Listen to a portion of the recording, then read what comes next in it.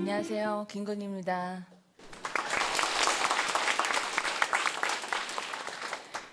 (2023년에서) (4년까지) 한국 방문의 해를 맞아 K관광협력단 출범을 축하드립니다. 아울러 저를 이번 한국 방문의 해 위원회 명예위원장으로 초대해 주셔서 진심으로 감사드립니다. 이런 영광스러운 자리에 초대해 주신 한국 방문의 해 위원회 이부진 위원장님을 비롯해 관계자 여- 여러분께도 감사드립니다. 한국은 진실로 매력적인 나라입니다. 이미 우리 문화의 위상은 세계 최고 수- 수준입니다. 오늘 참석하신 분들을 비롯해 해외 동포들이나 외국인을 만나본 국민들께서는 한국에 대한 그들의 뜨거운 관심을 익히 알고 계실 것입니다. 이런 열기가 한국을 찾는 발길로 이어져야 합니다. 독일 총리 배우자께서 한국을 처음 방문하신 지난 일요일 서울 시내의 전통시장이나 사찰 등에도 많은 관심을 보이시면서 한국 방문에 대해서 매우 흥미로워 하셨습니다.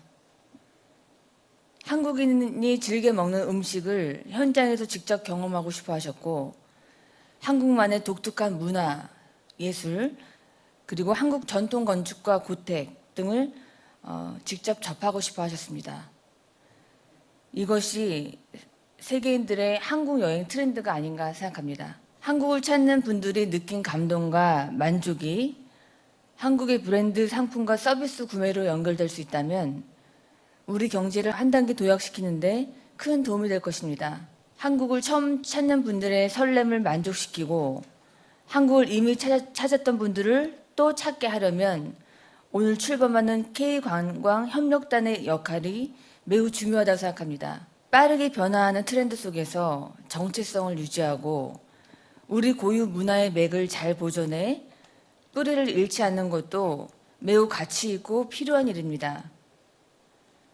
정부는 어, 이번 한국 방문의 해를 통해 K 관광이 세계인의 버킷리스트가 될 수 있도록 지원할 예정입니다. 저도 한국 방문의 위원회 명예위원장으로서 여러분과 함께 전 세계인이 가장 오고 싶어 하는 대한민국의 매력을 알리는데 최선을 다하겠습니다. 감사합니다.